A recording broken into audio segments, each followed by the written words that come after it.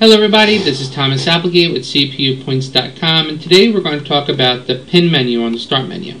Right here, the, all these icons here are, are all pinned to my start menu.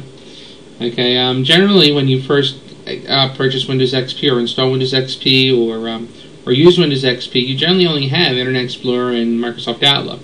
And generally you you don't have anything else up, up in here unless you uh, you figure out that, that there that there's a really cool option to uh, organize all your your most used applications. Well, what we're going to do is I'm going to show you how to create a shortcut onto your start menu or, or pin an, an icon on your start menu. Um, we're going to pin uh, a game on here. So we're going to go to All Programs. Uh, we're going to go into Games.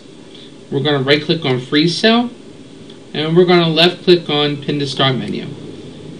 And there you go, it comes up right here on the start menu. You can also unpin items too. For instance, right click on the icon, left click on unpin from start menu, and there you go, it goes away. We're going to do the same thing here with solitaire as well, because I really don't want it there.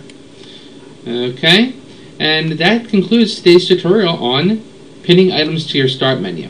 If you have any questions, please feel free to click on the icon up at the top that says Contact Me or if you wish to leave a comment about today's tips, there is a uh, option down down below, a little little uh, form down below that you can click on, and allows you to type in and uh, submit a uh, comment.